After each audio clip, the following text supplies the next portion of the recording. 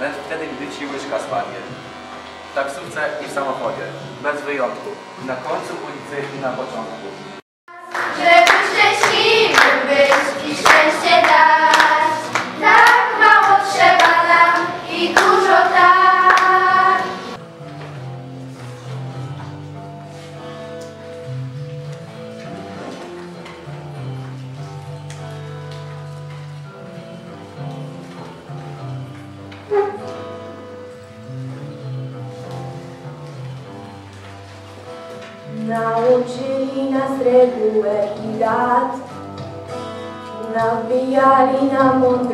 mądrości do łba. Powtarzali co nam wolno, co nie. Przekonali co jest dobre, co złe.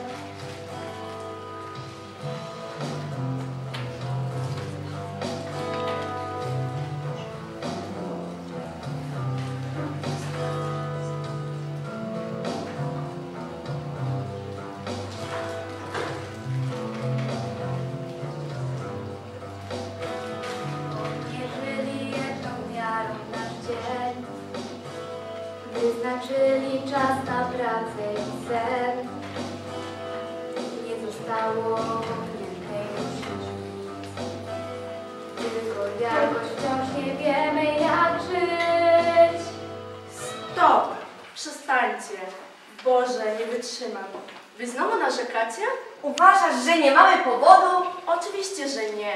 Przecież szkoła daje nam wiele możliwości. Pozwala pogłębiać wiedzę i rozwijać pasję. Mam wymieniać dalej? Żartujesz sobie? Co ty wiesz o życiu z tą twoją średnią 5-0? Nie 5-0, a 5-3. Uważam, że wiem bardzo dużo. Posiadam ogromną wiedzę. Wiem, co to mitoza, mejoza. Potrafię powiedzieć, na czym polega twierdzenie Pitagorasa oraz prawa Newtona. Umiem konstruować zdania podrzędnie złożone, okolicznikowe, czasu i przyczyny. Przestań, bo się kompromitujesz. Jak jesteś taka mądra, to powiedz mi, co wiesz o odrzuceniu, braku miłości, obojętności, stracie bliskiej osoby. Znasz Kaśkę i jej siostrę? Ciekawe, co Newton z Pitagorasem jej doradzą. Nie ma sytuacji bez wyjścia. Tak? To popatrz. Mamo, czemu zostawiałaś mnie z tymi wszystkimi problemami samą? Ojciec całymi dniami siedzi w pracy. Rozumiem, że zarabia na nasze utrzymanie, ale ja nie wychowam Karolki sama. Ona potrzebuje rodziców, a nie ma ani taty, ani ciebie. Gdybyś wiedziała, co ona wyprawia. Ostatnio nawet pobiła koleżankę w szkole. O ocenach nawet nie będę wspominać. Mamo, kiedy obiad? Skarbie, tyle razy ci powtarzałam, że jestem twoją starszą siostrą. Weź mnie nie dotykaj. Jak było w szkole? Ta praca od matmy znów postawiła mi pałę. Ona się na mnie wzięła. Karolka, ile razy mam ci powtarzać, że to bardzo niegrzeczne? Tak mówić o nauczycielce. Tatuś, Nie teraz! Później powiesz. Jestem zmęczony. Nie mam chęci ani sił na zabawę. Kaśka, przygotowałaś coś do jedzenia? I dlaczego tu jest taki chleb? Nie może czasem choć trochę posprzątać? Tato, niedawno sama wróciłam ze szkoły. Całe dnie pracuję, zarabiam na was, żebyście miały wszystko i żeby wam niczego nie brakowało. To takie dziwne, że jak wracam z pracy, to chcę zjeść i odpocząć w czystym mieszkaniu. Możecie okazać już trochę wdzięczności. Uczyli nas, że przyjaźń to fałsz. Okłamali, że na wszystko jest czas. Powtarzali, że nie wierzyć to błąd. Przekonali, że spokojny jest dom. Odmierzyli każdy uśmiech i grosz. Wyznaczyli niepozorny nasz los. Nie zostało pominięte już nic. Tylko jakoś wciąż nie wiemy jak żyć. Narzekanie. Przecież jesteście jeszcze takie młode. Całe życie przed wami. Zdążycie się jeszcze wszystkiego nauczyć. Tak, uważasz, że Asia i Natalka mają prawo głosu, mogą o sobie decydować, mogą żyć własnym życiem? To popatrz, jak wygląda ich codzienność. Dzień dobry, Moniko. No Cześć, kochana. Nie widziałam. Co u Ciebie? Słyszałam, że Natalia wygrała olimpiadę matematyki. Tak, to prawda. Jestem z niej bardzo dumna. Weźcie trochę i przebiję moją Asię. Sądzę, że już ją wyprzedziła. Ostatnio nauczycielka powiedziała mi, że Natalia jest najlepsza w klasie z matematyki. Wątpię. Asia jest naprawdę dobrą matematyczką. Poza uzdolnieniami matematycznymi ma wrodzony talent literacki. Moja Natalia wygrała ostatnio konkurs licytatorski, a poza tym pisze najlepsze charakterystyki w całej klasie. Och, charakterystykę by głupio potrafię napisać. Moja Asia pisze doskonałe sprawki przemówienia. Ostatnio otrzymałam list, że Natalia dostała się do najbardziej prestiżowego liceum w Warszawie. O, no to gratulacje, za to moja Asia będzie studiowała w Londynie. Nie mogę już tego słuchać. Mama ciągle zapisuje mnie na różne zajęcia. Angielski, hiszpański, siatkówka, basen, balet, a w wolnej chwili, chwili kółko przyrodnicze i teatralne. A potem przechwala się, jaka to ja jestem mądra i doskonała. A już po prostu nie mam siły. Wiem, że chce dla mnie jak najlepiej. Ciągle mi powtarza. Dziecko, uczę, byś miała w życiu łatwiej niż ja. Ale ja już zaczynam mieć wrażenie, że moja mama to tyran, dyspota jakiś. Ze wszystkiego muszę być najlepsza. Wygrać wszystkie konkursy i mieć perfekcyjne oceny. Ale ja tak bardzo chciałabym się wyspać. Asia i Natalka mają tak samo wielką wiedzę jak ty. No, jak dasz, to z tą pogramy.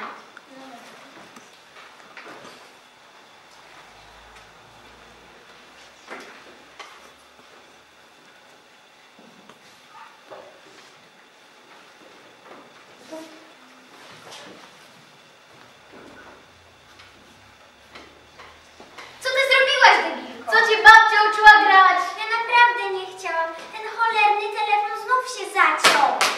Wiesz, ile pracowałam na te pucharki, a ty wszystko zepsułaś. Zapłacisz za wszystko. Myślałaś, że cię odpuścimy? Pomocy, zostawcie mnie. No i co? Jak im pomożesz? Te dzieci nawet nie widzą problemu. Żyją w wirtualnym świecie. Ich życie zaczyna i kończy się na telefonie. Telefony, gry, portale społecznościowe wypełniają ich każdą wolną chwilę. Niemal cały czas korzystają z telefonu. Całą dobę muszą być online. Nie mogą przerwać gry. Telefon jest z nimi cały czas. W szkole, na podwórku, w toalecie, z telefonem nawet kładą się do łóżka. Czekają aż ktoś do nich zadzwoni, napisze, skomentuje lub polubi post i sprawdzają ile dostały lajków. Przecież oni mają swoich rodziców. Rodzice na pewno zareagują. Nie pozwolą, aby dzieciaki cały czas siedziały z telefonami w rękach. W jakim świecie ty żyjesz? Myślisz, że rodzice mają pojęcie o tym, co się dzieje? Wracają z pracy i cieszą się, że mają chwilę spokoju. U nas w szkole nie ma takiej patologii. Nie ma takich problemów. To, że ty nie masz problemów, nie oznacza, że ten człowiek ich nie ma. Według słownika PWN szkoła to instytucja zajmująca się kształceniem dzieci i młodzieży. Pozwala pogłębiać wiedzę, rozwijać ich zainteresowania, ale nie nauczy cię życia i nie masz prawa tego od niej wymagać. Życia musisz nauczyć się sam, bo to tak naprawdę życie jest najtwardszą ze szkół. W świecie, który zawsze był taki sam. Pełnym miłości i nienawiści zarazem. Dobra i zła. Kłamstwa i prawdy. Uczysz się godzić z porażkami i cieszyć ze zwycięstw. To, że dotyka cię zło, nie oznacza wcale, że jesteś jakoś szczególnie pokrzywdzony. To po prostu kolejna próba. Nie oczekuj, że szkoła da ci gotowy przepis na życie. Ty sam musisz każdego dnia podejmować decyzje, popełniać błędy, odnosić sukcesy.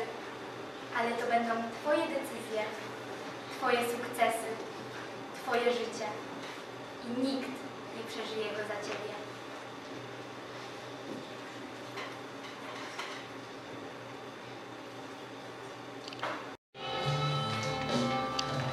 Uczymy się więc sami na złość, spróbujemy, może uda się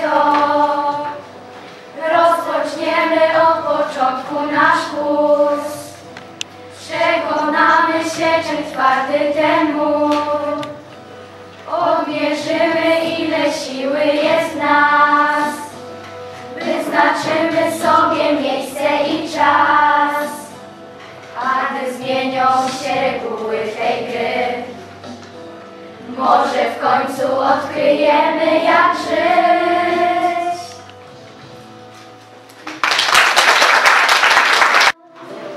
Tata także wie, nie ma z kim pogadać, nie wysłuchajcie, co dużo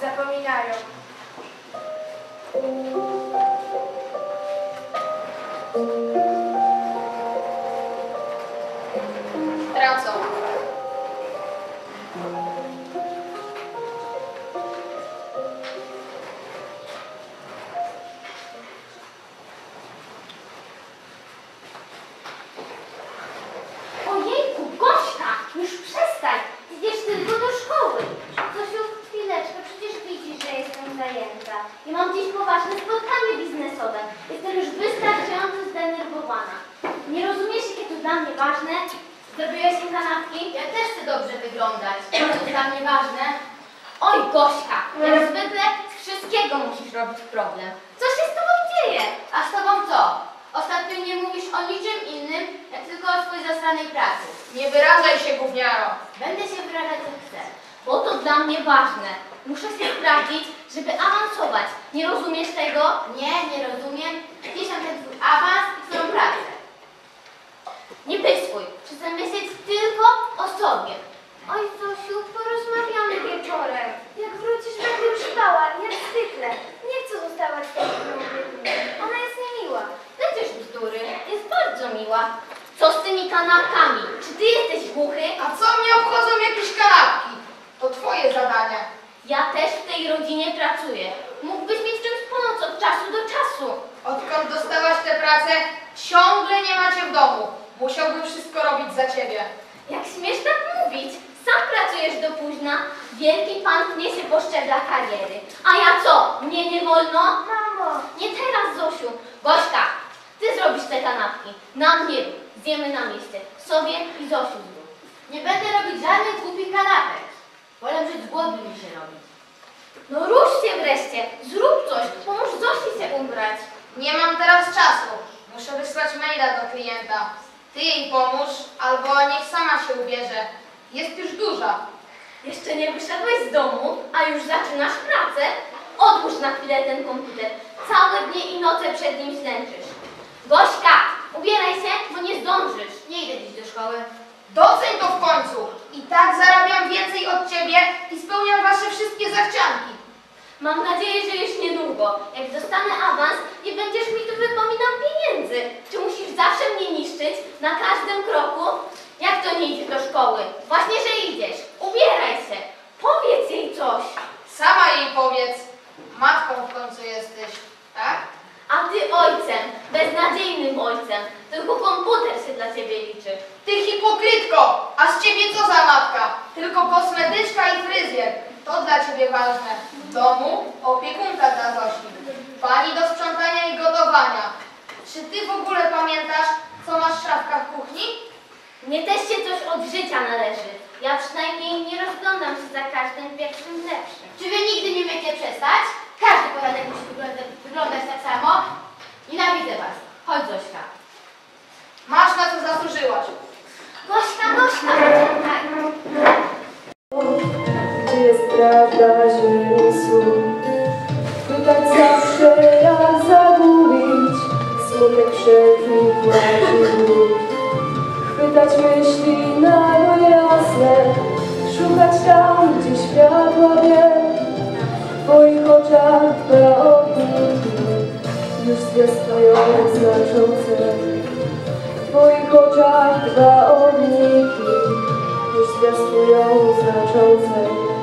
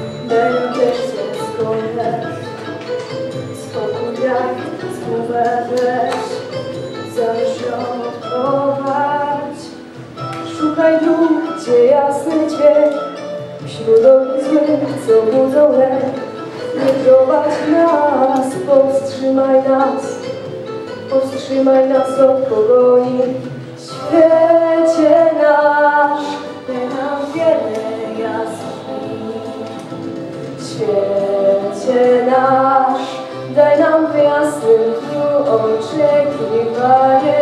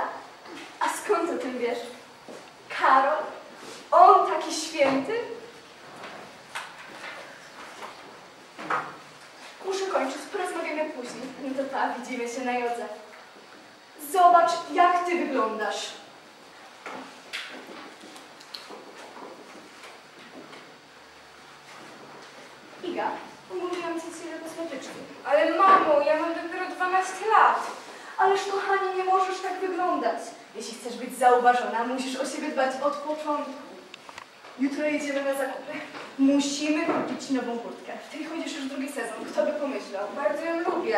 Nie martw, ma za małą kieszeń. Nie zmieścisz mi nowego smartfona.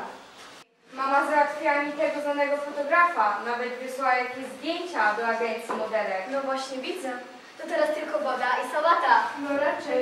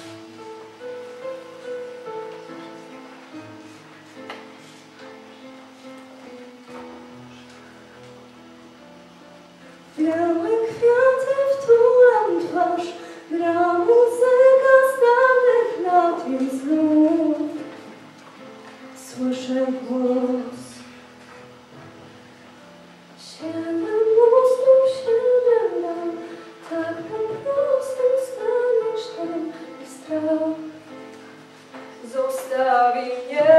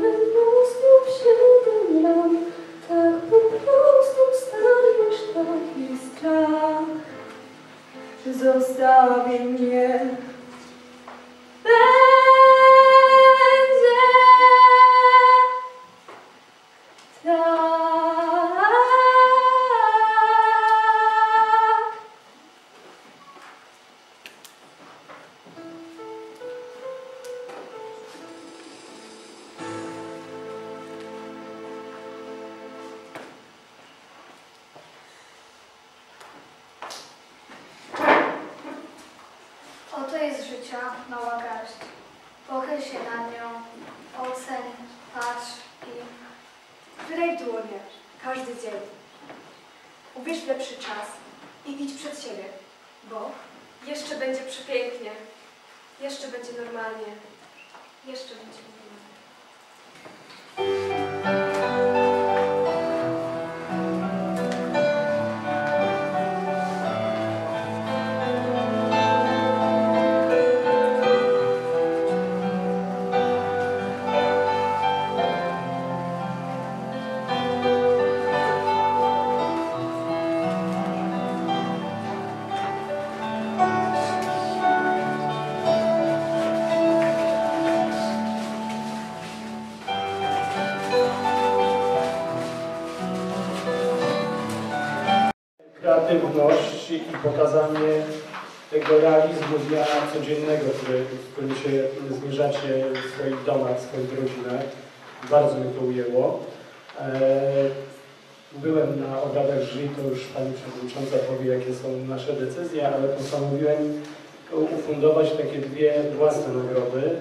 Dwóch szkół. I będzie to dla szkoły e, w Smardzewicach. Poproszę te dzieci, które, tą młodzież, która tutaj nam pokazywała te scenki, aby współ ze mną poprowadziła spotkanie z rodzicami. Taką wywiadówkę, gdzie najpierw pokażemy e, Wasz występ, a potem ja e, trochę tym rodzicom poopowiadam o tym, co Wy chcieliście przekazać, jak to wygląda też trochę od strony już specjalistycznej. To jest jedna nagroda. A druga nagroda dla drugiej szkoły, szkoła w Zawadzie.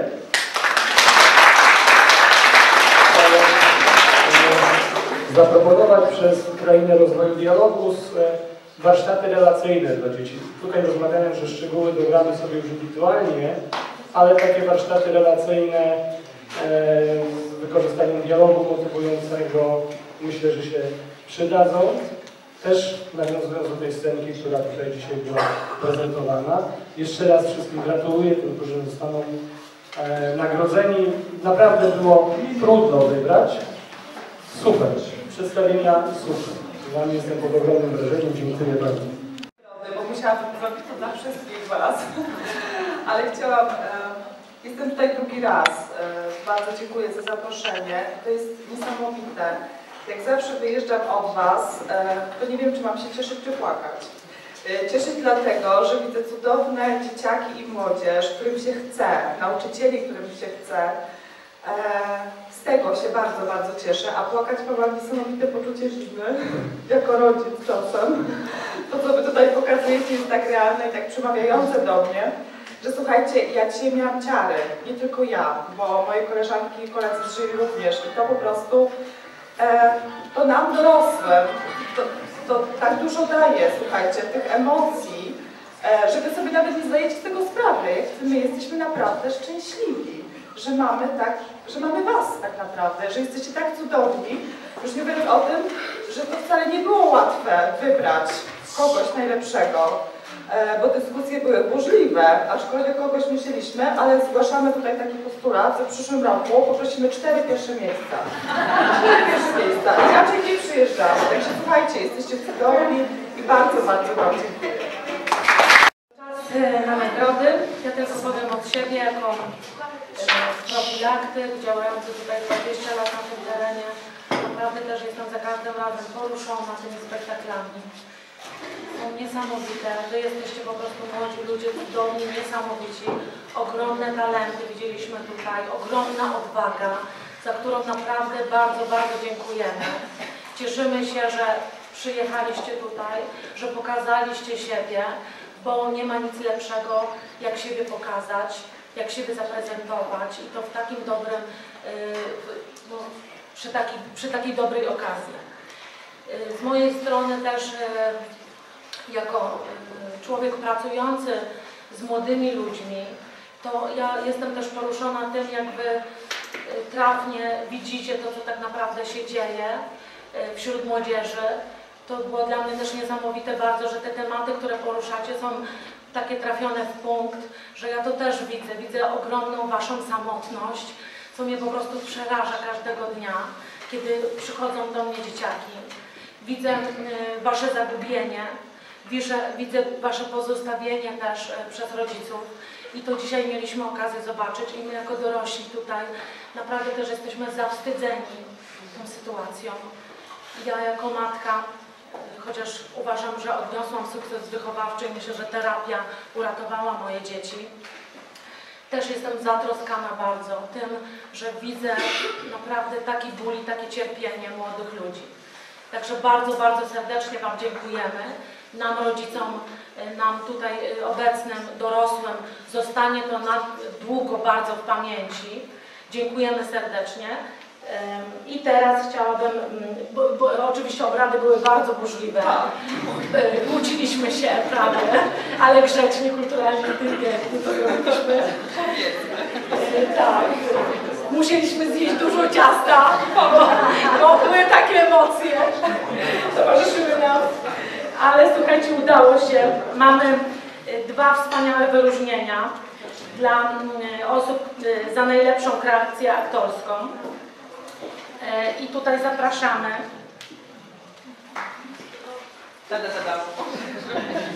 Nie tak szybko. Nie tak szybko. Uwaga, uwaga. Czytam. Kto dostanie tą nagrodę? Wspaniała, młoda, utalentowana, niezwykła, cudowna i wspaniała. Dziewczynka ze Smardzewic, Agata Wojtaszek.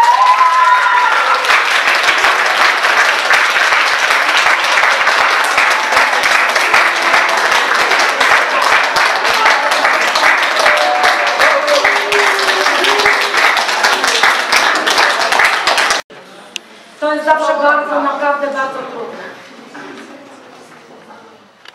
Najpierw zaczniemy od wyróżnień. Wyróżnienia równorzędne, podkreślam równorzędne, bo wszystkie te szkoły, które za chwilę wymienię, były naprawdę niesamowite, genialne, wspaniałe, twórcze. Bardzo Wam dziękujemy, dziękujemy Waszym y, nauczycielom, pedagogom, y, opiekunom i są to szkoły.